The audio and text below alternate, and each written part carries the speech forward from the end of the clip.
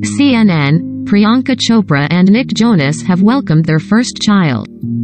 The couple, who have been married for three years, shared their family news on Instagram Friday.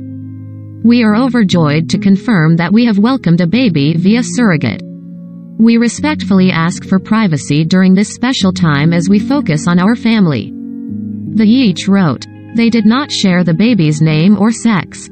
Chopra, 39 and Jonas, 29, married in 2018 in India. It was an extravagant three-day affair. The couple first met in 2017 and took their romance public in 2018. They were engaged after just four months of dating. In an interview earlier this month with Vanity Fair, Chopra spoke about the couple having a baby in the future but did not mention that they were already. They're a big part of our desire for the future, she said. By God's grace when it happens, it happens.